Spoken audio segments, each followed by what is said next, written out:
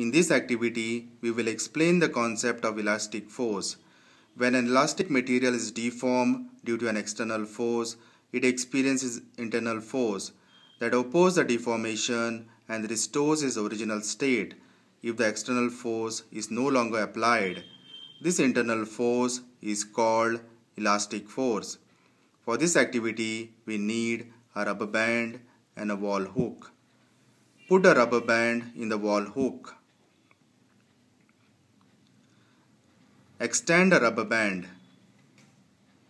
When the rubber band is extended, a force is produced called as the elastic force.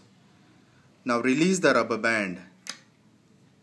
The rubber band restores its original state, that is, the shape and its size is not changed. Now let's measure the elastic force using the spring balance. Put a rubber band in the hook of the spring balance. Slowly pull the spring balance.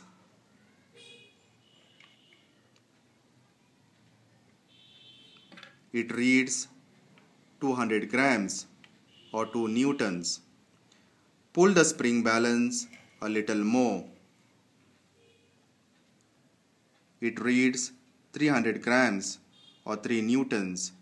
This means as the rubber band is extended, the elastic force goes on increasing, which tries to restore the original state of the rubber band.